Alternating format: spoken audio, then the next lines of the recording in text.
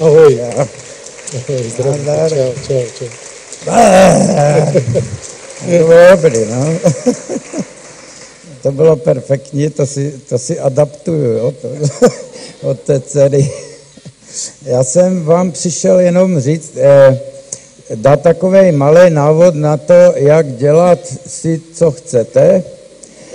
A i když ze začátku vlastně nevíte, co byste dělali, a časem se to vystříbří a pak se tím i třeba živíte, jo? Protože nějak se mi to povedlo, tak to musím jako dát dál, jo? A začnu, eh, začnu po vojně, když člověk má těch tak 20, vlastně už nechodíte na vojnu, že? No tak, kdybyste tak přišli z vojny, takový frustrovaní, měli tak třeba 22 let a teď měli takovou touhu, takovou nějakou, ani nevíte, co to je, ale chodíte a říkáte si, je, já bych tak něco chtěl jako dělat. A teď nevíte ještě přesně co. Tak chodíte do kina a lapáte, absorbujete, e, říkáte si, to je dobrý, to je blbost. A proč to je blbost, když ten říká, že to je dobrý a zase to, co se líbí, je blbost u něj a tak, tak se vám, tak se vám to tří, jak si tříbí, že? ten vkus a co vlastně už víte, co tak asi se vám líbí a pak si řeknete, ale já bych to taky, taky tak něco takového jako chtěl dělat. A teď jak na to, že e, ta touha se vám tak nějak vrazí, jakoby, já se musím dělat na hodinky, protože já se rozkecám, tak e, jo, abych nedopadl podobně, tak se vám to jako vrazí, vrazí se vám to do podbřišku nějak a ty říká, já musím sehnat nějakou babu, ale to jako není ono ještě, jo? ta baba, to jako vždycky ještě navíc se nás vykašle a pak máte ještě depku a teď říkáte, potřebuji něco, tady potřebuji nějakou berlu, jo? něco, nějakou oporu vlastně, jinak jsem úplný loser, že? No tak já jsem to tak, jsem si to tak nějak řekl, těch 22, přestal jsem kouřit, teď jsem zase začal onehda, ale to už přichází ta deprese toho stáří, jo. Teď se pohybujeme před 30 lety, když jsem měl 22, jo, a tak, takže eh, tak to jsem se stal kořit, taky jsem běhal, to je těžko si představit, ale to je fakt už 30 roku. A to, to jako byly takové podružné věci, ale a začal jsem se združovat s lidma, co to měli podobně. To byli moji vrstevníci. A to je takový ten kolek, princip kolektivu. Jo? Teď sejíte v té hospodě, že? A, a říkáte, to je dobrý tohle a to je blbý a tak, jo. A teď, a už, už je vás víc takových, že se tam to tam formuje, ten názor, ten generační názor, jo. No tak, tak jsme se to tak vyformovali, u Pavouka jsme formovali každý pátek až do soboty do rána a a právě a jsme pak začali mít takové různé napady, jo. A vždycky podle toho, jak do toho, jak já jsem začal nosit diktafon a nahrával jsem to, a teď s těma kamarádama, s těma vrstevníkama jsme začali dělat takové, se tomu říkají opičárny, jo, a tak to byl takový, eh, takový zárodek jakoby kabaretu a performance. No a to jsem se dostal k tomu, že jsem zjistil, že to by mě jako bavilo, tak jsem začal dělat. Jenže jsem právě potřeboval ty vrstevníky. Sám to jako toho moc neuděláte. Po té linii jako samostatné jsem začal malovat a tak, ale to tež byl takový, že jsem všude začal roztrušovat, že, že, jsem, že jsem malíř, že maluju, ale ještě jsem nenamaloval ani jeden obraz. Jo? A půl roku jsem chodil, všude jsem vykládal, to maluju, to by taky, to, pff, pff, jo, můj bratranec chodil na akademii a jsem říkal, to bych namaloval taky, ne? Jenže pak padla kosa na kamoši udělali výstavu, já jsem musel něco donést, že? Tak jsem fakt normálně přes noc začal patlat doma, jo. Jsem zjistil, že to vůbec není tak jednoduchý, jo, ale něco jsem napatlal, dones a a říkal, to dobrý, jak dlouho jsi to dělal? Já říkám, ty, ten poslední půl rok jsem na tom jako dřel, jo to bylo, to bylo, ježiš, to přemaloval xkrát, jo, a tak, no tak, tak jsem se jako dostal k tomu malování a, a, a s těma kamarádama jsem to rozjel s tím kabaretem, jo, ale taky, jako když vypijete třeba 5, 6, 8 piv, tak eh, ty napady eh, se vám pak druhý den zdají úplně blbé, že?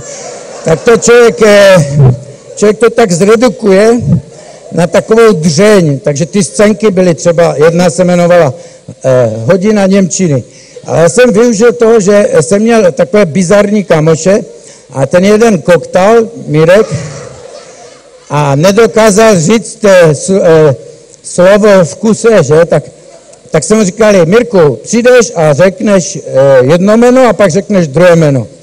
A bez hodinka Němčiny. To, to si zapamatuješ, jo? Oh, to, to, to zapamatuju. No tak já jsem přišel a říkám, ahoj Mirku, řekni něco německy. A on, he, he, he, he, Helmut! A, a, a bubeník zahrál tuž. To byla scénka celá, jo? A pak byl přidavek, byl, že zase jsme vylezli a ty, Mirku, řekni ještě něco německy. A on říká, a zase, buben a konec. Velmi krátké scénky, protože my si nezapamatujeme dlouhý text. Takže v podstatě ten náš kabaret byl vždycky pět minut pauza, než jsme se převlikli. A pak ten sketch trval půl minuty třeba, jo. A nikdy jsme nevěděli, jak to jako skoncovat, skončit, jo. Tak jsme, tak jsme říkali, nejlepší konec je, že všichni padne mrtví na zem, jo. Tak, tak jsme udělali scénku, která byla od někud ně, nikam a pak jsme udělali, oh, padli jsme jako všichni mrtví. No a všichni se tomu smáli normálně, jo. Pak jsem říkal, to nechápu, co se jim na tom líbí. No a pak jsme udělali i takový film, který vám teď pustíme, jo. Já už tady nebo to zase někdy jindy vám povykládám potom ty další věci. Teď to video, jo, ať to ne to. A on to může ještě třeba komentovat. On tam toho Mirka vám, on se tam objeví potom. To jako pseudospravy, jo. V mezinárodním jazyce.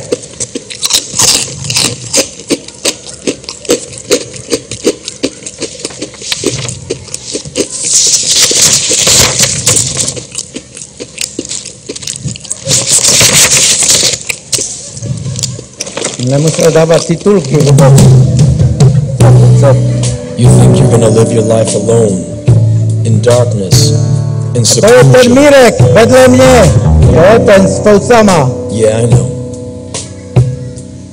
You've been out there, Tak to je můj oblíbený člověk, jako Batman, jo.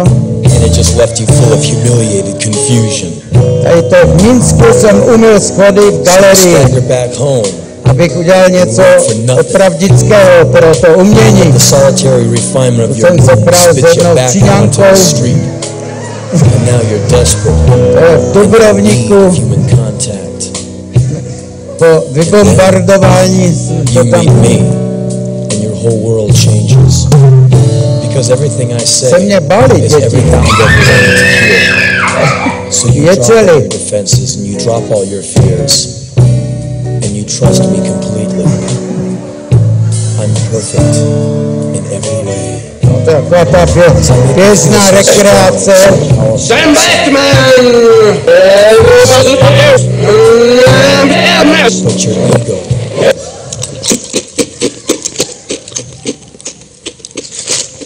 No a tak Vytrvalostní kvapík. situaci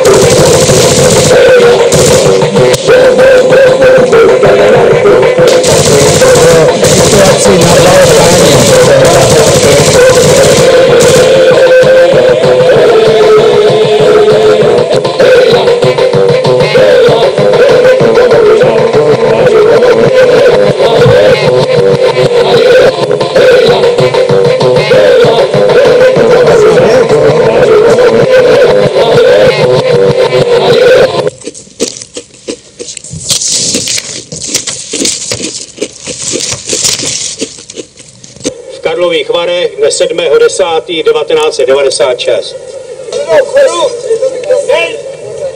To je známý bezdák ostravský. Aby se zdražovalo. Kurva, začínal do piče. Jak to znal? Říká, nedopušte, aby se zdražovalo. A už ho chtěli zatknout.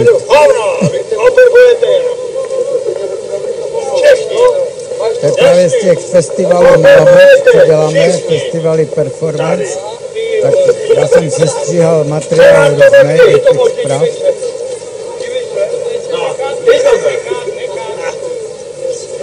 No, ale nakonec ho nezbalili. A tam se odehrávala akce, si, to byla konceptuální umělecká akce, že ty holky si vyměnily oblečení.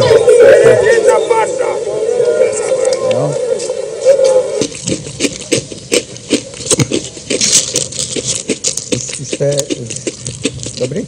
Jo, dobrý. Apokalypsy, jo. Jsme chodili po Ostravě s motorovou pilou a dělali jsme rambajs, aby jsme jako připomněli občanům, že přijde konec světa. Jo. Ale jak vidno, nikoho to moc netankovalo, že, že byl konec světa, jako to je, je zajímavé, že? Jakým způsobem vás jako varovat všechny. Abyste žili správně a šli jako do sebe.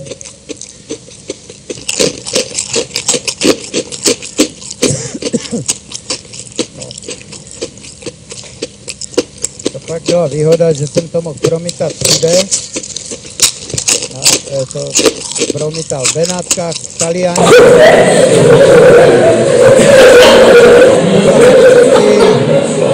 Když jsme pili pivo eh, podle noci, jo? jako takový kvartet. A to byl tady. Eh, Aleš Hudeček nás dirigoval. To je, to měl úspěch.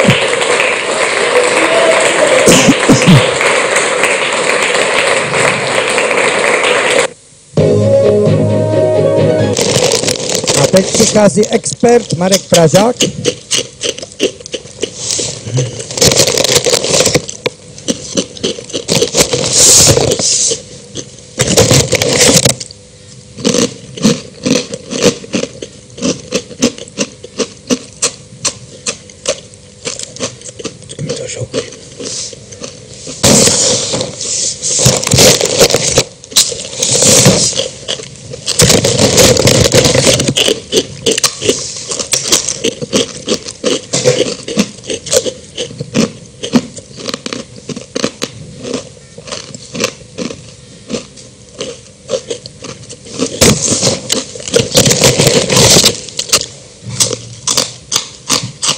Grazie, Krzysiu?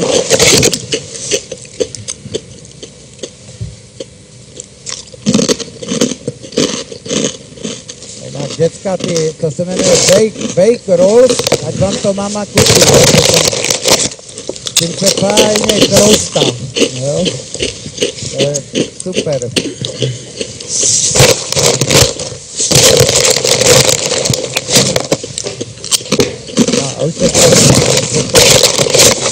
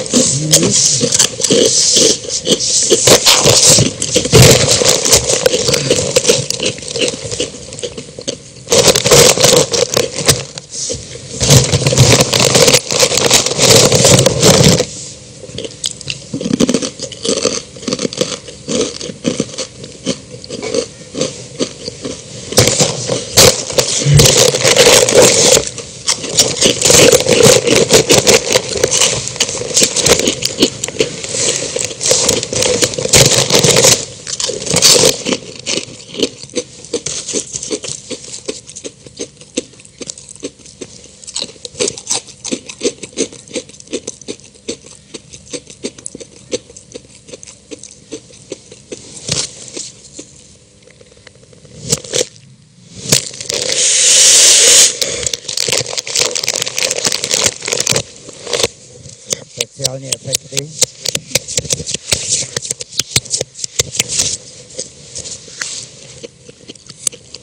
You wanna know why?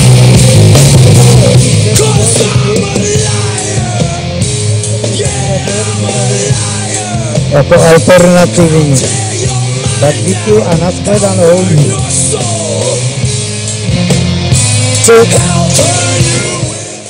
Und jetzt sind diese Surufka. Ah, dicke Moos, dicke, dicke, dicke, dicke. Ja.